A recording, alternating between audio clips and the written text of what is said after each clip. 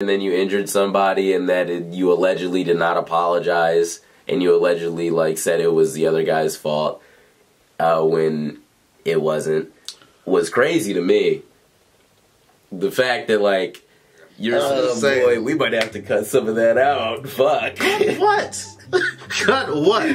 You're supposed to be a guy that is molding young wrestlers and trying to give them a good path to start. Oh. And this is what the fuck you're doing. Yeah. Well, It's me and crazy him, to me. Me and him don't get along uh, because Oh, we go into that. I- I- I Everyone thinks I broke my ankle on the military che- chest press to the chairs. That is that is not the case. I I twisted my shit doing the fucking everyone's showing concern and whatever and whatever. And then I hear one dumbass in the background go, "Ah, he's fine." Iron Eagle sat like picked me up, went all the way to the back and sat me on a chair what am I trying to do? Work the boys? I don't.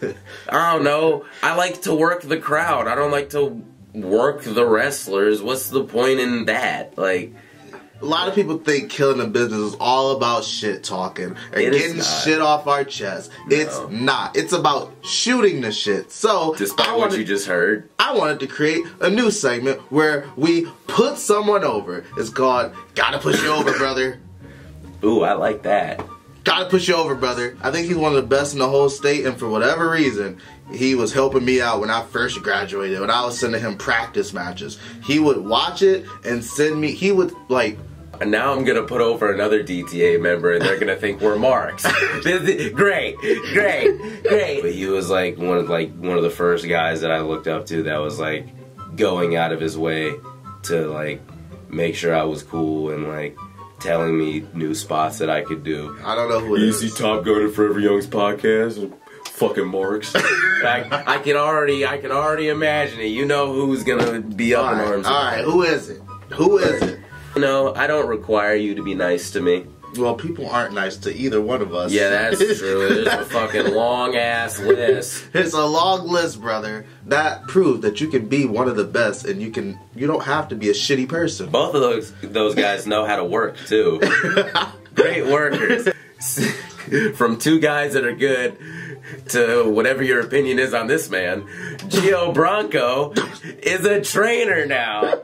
Bronco is a trainer, and me and you need to be a promoter. That's all I'm gonna say. Shitty as fuck wrestling coming August 2023. We are, you know, we should make him the world champion.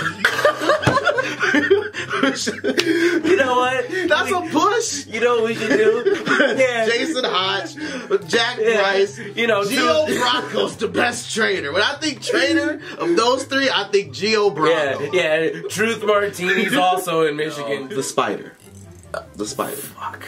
Yeah, that's the the spider. Two E's. The spider, I'm sorry. Yeah, Yeah. two E's all the time.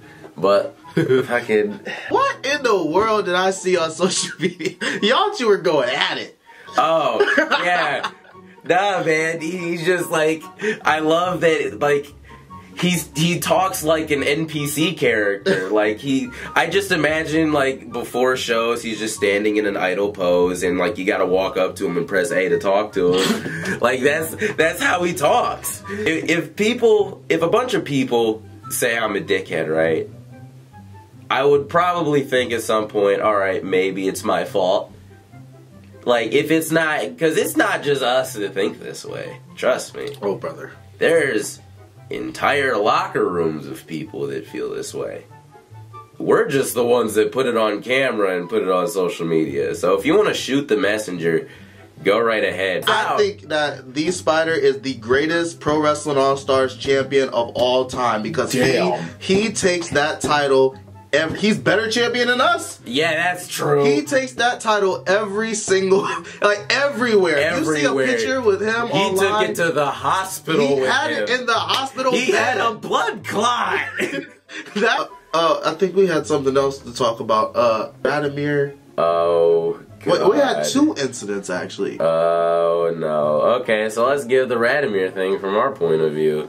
First of all, shouts out to John T. Keith because he had full permission to knock that fan Wait, out. hold on, hold on, hold on. Because LJ got his towel stolen by that dude too. What? Yeah, and here's I'm why. just hearing this. Here's why. Because Jonte, after that happens, I'm assuming this is after. Jonte and this dude are going back and forth, like Are heavy. Yeah, and Jonte grabs LJ's towel, picks it up, and launches that bitch at him, and then flips the dude off, and the dude bum rushes Jonte. Really? Yeah, and Jonte's backing the fuck up. He's not like he's you know he's trying to keep it fucking professional. How and have you people not get. told me this? I thought you saw it. I thought you knew about this. No. I'm. I am leaning out of the curtain. I'm like, what the fuck is going on? Is this supposed to happen? We didn't talk about the award, but we'll get to that. Oh. Rookie of the Year finally came out. yeah, and to nobody's surprise, Brutus Atwell won. Congratulations to Brutus. I think it was well deserved. Shut up. What? Am I Why did you have to?